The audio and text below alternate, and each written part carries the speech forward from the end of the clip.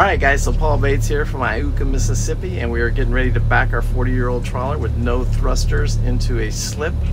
Um, and we're at Aqua Harbor uh, Yachts in uh, Iuka, Mississippi again.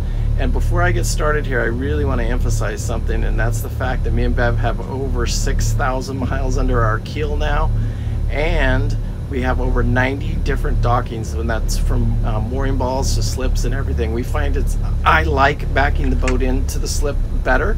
It's easier to go forward, but I prefer to back it in because I have, uh, it's where all my uh, power and stuff like that is. So we make this look super easy, but it took a lot of practice. It's taken over four months to get where we're at, uh, being able to do what we can do with this boat now. It's a much heavier boat than Luke Princess, the one we started with. Anyway, I appreciate it. Thank you guys for watching.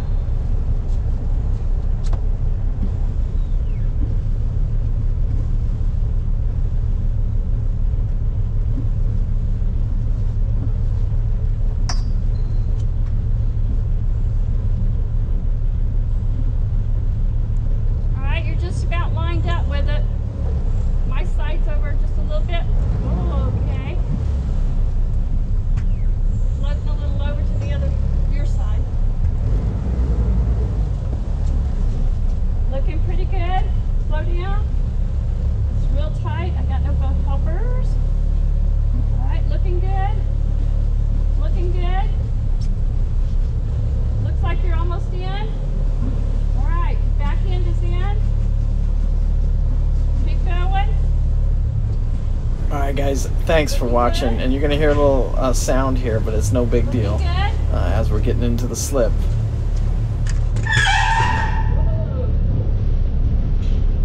All right, guys. So thanks for watching, and I appreciate it. And another just it was a absolutely almost perfect landing, except that one little we just hit that rub rail.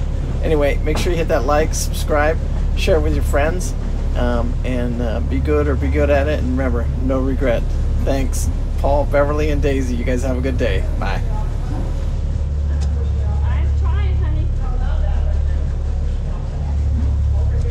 It's real tight. I'm trying. You're not on this side.